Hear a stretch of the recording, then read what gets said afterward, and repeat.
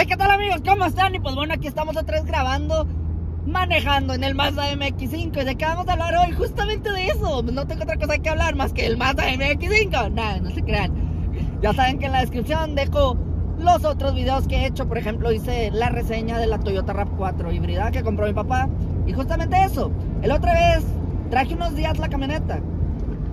La SUV, a los mamones. Iba con mi papá. Y mi papá me pregunta, oye, tiene mejor respuesta el Miata, ¿verdad? El Mazda. Y yo, ah, sí.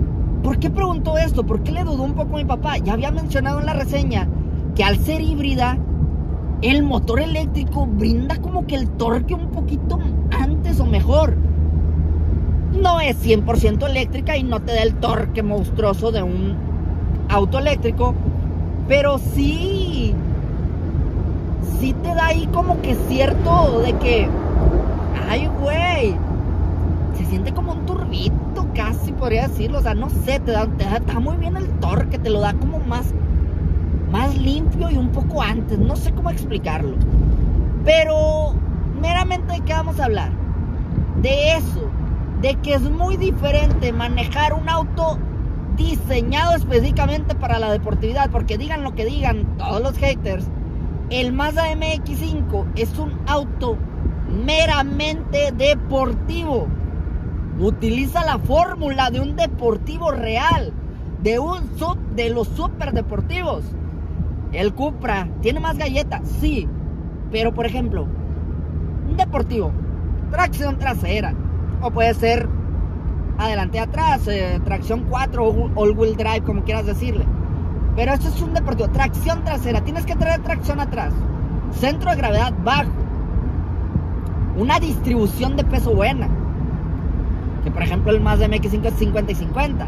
El Nissan 370Z era 60-40. ¿Sí? Una relación de peso-potencia también buena. No todo es potencia a lo bestia, no todo también es ligereza a lo bestia. En fin, hay una fórmula, o se usa cierta fórmula, ciertos parámetros para decir este auto es meramente deportivo. Porque aunque el Cupra traiga 300 caballos, traiga 100 caballos más que el Miata, trae 290, trae 100 más. Güey, el Miata se le pone al... Se le, no, no le gana.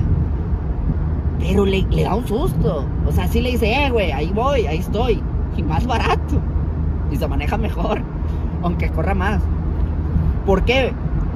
Porque la tracción trasera, la distribución de peso, insisto, son muchas cosas que hacen que el Mazda MX5 sea el primer escalón de un deportivo real. Esa fórmula la utiliza, como dije, el 370Z o el Nissan Z, Mustang, Camaros, Ferrari, Porsche. O sea, güey, esa fórmula de deportividad. Esa es la palabra, güey. Entonces, manejar el MX5, manejar otro deportivo, manejar un Mustang, aunque sean diferentes segmentos, que güey, es un roster y el otro es un muscle un pony car, un super deportivo. Güey, la fórmula, insisto, la fórmula de la deportividad. Tracción trasera, centro de gravedad bajo, distribución de peso, una buena relación de peso-potencia, una conexión del piloto con la máquina. Y eso es lo que hace que un auto deportivo puede hacer esto, esta sensación que no te la da un motor eléctrico ni un híbrido. Pero bueno, en fin. Los entusiastas lo van a entender perfectamente. Por mi parte, sería todo. Si les gustó el video, déjenme un like, suscríbanse a mi canal, síganme en TikTok que en TikTok voy a hacer y también aquí, fíjate, voy a hacer eso que dije ahorita el Cupra. El Cupra, la relación de peso, eh, perdón, la, distribución de peso creo que es 80-20, o sea, trae todo el peso en la trompa, en el hocico, por eso se va de gane. Por eso es, pasa eso del subiraje, sobreviraje, que después hacemos un video de la diferencia en TikTok y aquí. Ahora sí, por mi parte sería todo. Si les gustó, déjenme un like, suscríbanse a mi canal. Recuerden, me llamo Guillermo y hasta pronto, amigos antes de irme.